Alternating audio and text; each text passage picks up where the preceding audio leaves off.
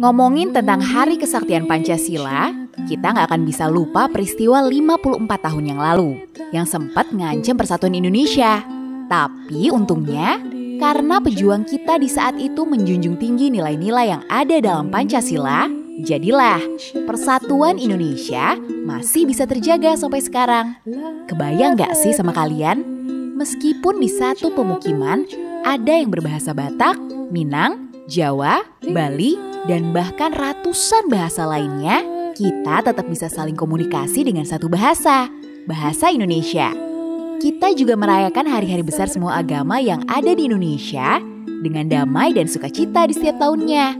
Itu tandanya Pancasila secara nggak sadar udah nyatuin kita yang berbeda-beda. Selamat Hari Kesaktian Pancasila Indonesia.